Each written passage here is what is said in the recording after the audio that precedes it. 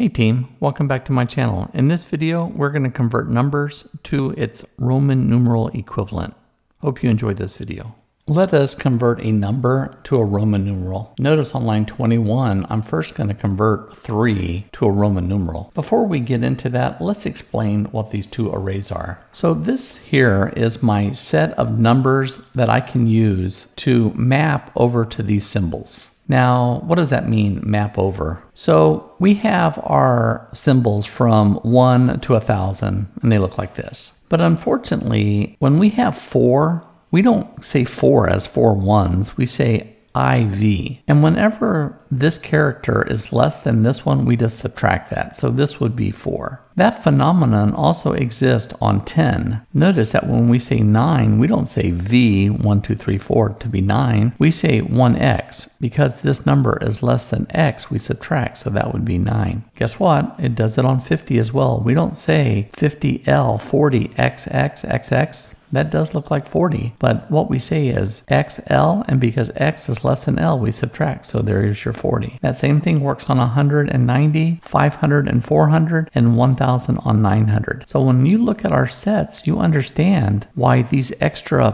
positions are in there. Notice that we only have 1500, 150, 10, 5, 1. I've got all these extra ones in there. I have them extra ones in there for these conditions where it takes two characters to give us a value. Hopefully that makes sense. Let's step through this and see what happens. First, we're going to do 3. Let's do it. So let's turn 3 into its Roman numeral equivalent. Let's do this. So notice n is 3. If you look over here, my local variables, n is 3. I'm inside of Visual Studio's code. Now, n, num, is my list of numbers that I'm going to use to decrement, and SYN is my set of symbols. You can see them on the left here as well. Now I'm popping that off. Now POS is our index value into here, and that stands for position. So the first thing we say is cur less than num sub POS. Well, what's POS? POS is zero. So what is num sub POS? That would be 1,000. So is 3 minus 1,000 greater than 0? No. So because it's not, guess what we're going to do? We're going to increment POS by 1. So now we're going to be using 900. Now I come through there, 900 is no good. 500 is no good. You know, I'm just going to keep working my way down. And what we can do is we can run this and put a breakpoint on 13. Let's go ahead and run that. And notice now POS is sitting at 12. Now I'm going to count those out for you. 0, 1, 2, 3, 4, 5, 6, 7, 8, 9, 10, 11, 12. So it's looking at 1 now. So now the Roman numeral that we're going to put in there is actually this I. Now notice here, we're going to take that current number, which is 3, and I'm going to decrement it by 1. But not 1 from the number, 1 from this array object. So now our current number is 2. We're just going to continue the same steps. Now I'm down to 1. Now notice my Roman numerals is III, which is 3.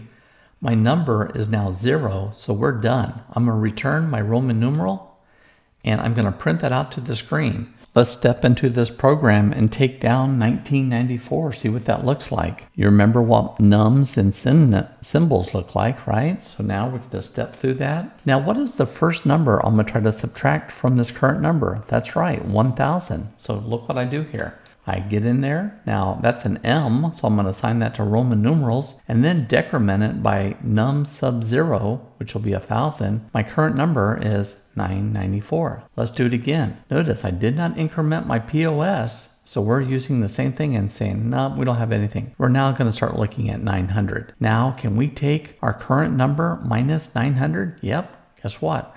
We just got another Roman numeral. Now CM, you know, is a custom number. I showed you how that worked earlier. So I'm just gonna step my way through here and you know, just, just one, two, three. I'm gonna put a breakpoint on uh, 18. I'm gonna run this. And then notice my Roman numeral is MCMXCIV. Isn't that awesome? F10. And notice my output down here is MCMXCIV. So Roman numerals, there you have it. You know what? They're always on fancy stuff, you know, like uh, movies, nice documents and such. So it's probably something good to know. Now that you know it, you can use it. And not only can you use it, you can teach it someone else. And there you have it, team. We're at the end of this video. Thanks for supporting my channel, and I'll see you back in my next video. Have a good week.